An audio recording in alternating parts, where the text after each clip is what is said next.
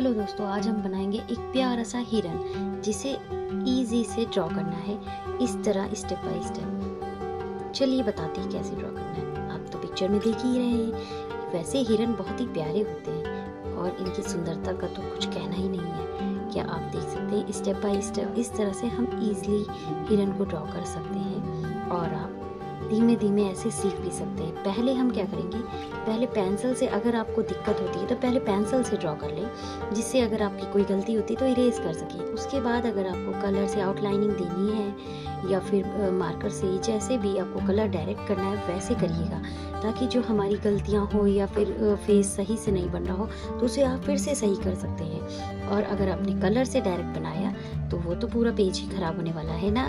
तो सही होने से नहीं रहा। इसलिए पहले अगर आपको लगता है कि आप इजली नहीं बना पा रहे हैं, और आपको दिक्कत आ रही है तो आप एक काम करें, पहले पेंसिल से बनाने की कोशिश करें। जब वो प्रॉपर अच्छे से बन जाए, फिर उसमें आप इसके पेन से आउटलाइनिंग दे सकते हैं। ज़रूरी नहीं कि आपको बहुत ही टाइम लगेगा। अगर आप ध्यान से, प्यार से जल्दी से बनाएँगे तो जल्दी बन जाएगा हमारा प्यारा सा हिरन। अच्छा बताएँ कैसा लगा हमारा हिरन बन के तैयार है।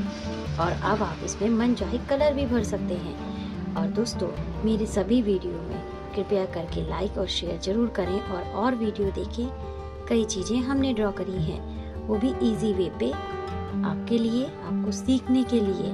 किड्स के लिए तो बहुत ही अच्छे अच्छे वीडियो डाले हैं तो कृपया हमें सब्सक्राइब ज़रूर करें, पसंद आने पे लाइक, शेयर भी करें और हमारे चैनल में इसी तरह के वीडियो देखने के लिए आते रहें। आप सबका बहुत ही धन्यवाद। नमस्कार। फिर मिलते हैं। Bye bye. सब्सक्राइब करना ना भूलें। टाटा।